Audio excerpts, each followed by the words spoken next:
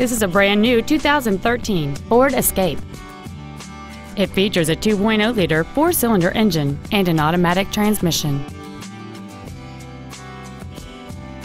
Its top features include speed-sensitive volume controls, an intercooled turbocharger, and traction control and stability control systems.